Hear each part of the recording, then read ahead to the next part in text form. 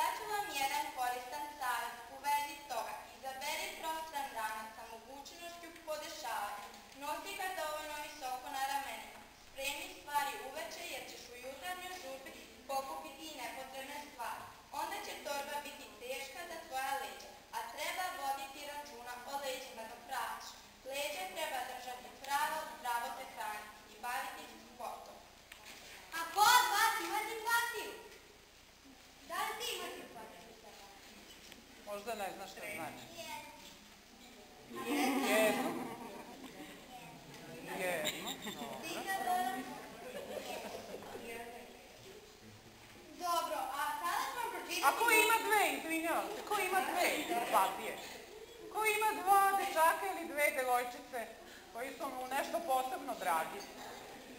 Nema, dobro. Odlično. Dobro, a sada ću vam pročitati moje prva simpatije.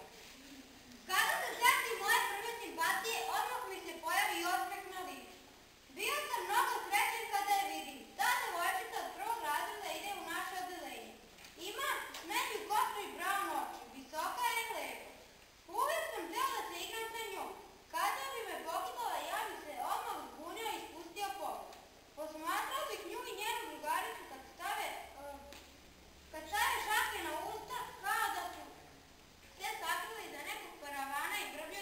čas.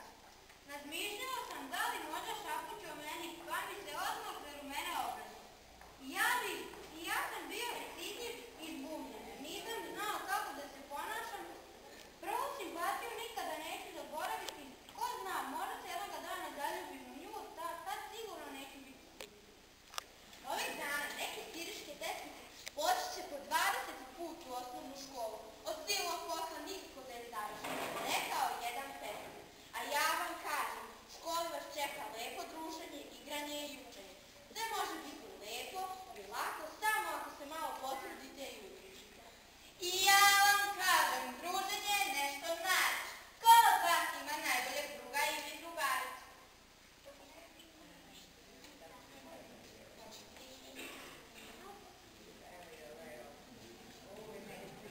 Kaže mi kako vam se zovu.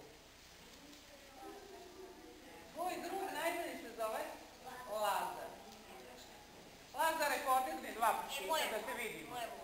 A tvoje vlada? A gdje je vlada?